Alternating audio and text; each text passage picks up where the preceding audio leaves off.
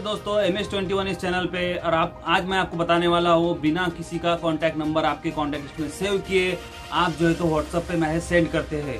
तो इस ट्रिक से इस ट्रिक के बारे में बताने से पहले आपको डिटेल बताना चाहूँगा, अगर व्हाट्सएप पे आपको किसी को मैसेज सेंड करना होता है तो उससे पहले, सबसे पहले आपको आपके कॉन्टैक्ट लिस्ट में वो जो है तो नंबर सेव करना होता है।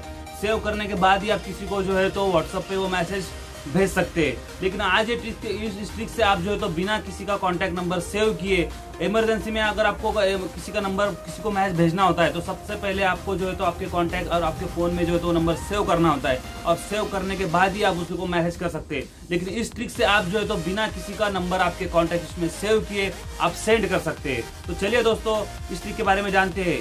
तो दोस्तों, ये रही मेरी मोबाइल की स्क्रीन और चलिए, हम जानते हैं ट्रिक को हम किस तरह से अपने मोबाइल पे चला सकते हैं? सिंपल सा आपको एक एप्लीकेशन आपके मोबाइल में इंस्टॉल करना है।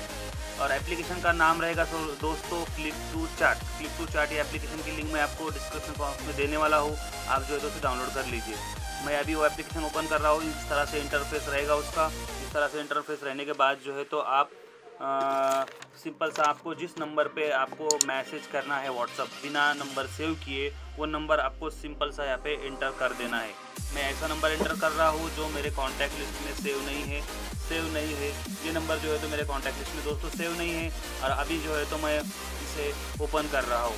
ओपन करने के बाद दोस्तों सर्च करेगा और सर्च करने के बाद डायरेक्टली जो है तो ये व्हाट्सअप पे ओपन हो जाएगा।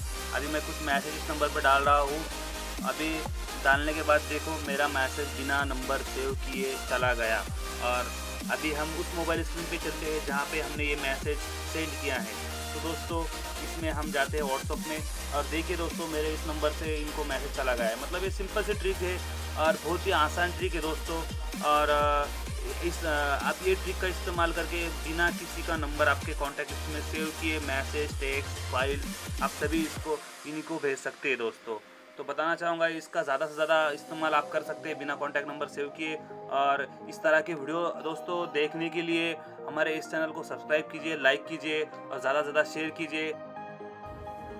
तो देखा दोस्तों आपने कितनी आसानी से हमने इस ट्रिक से मैसेज सेंड किया है बिना नंबर सेव किए।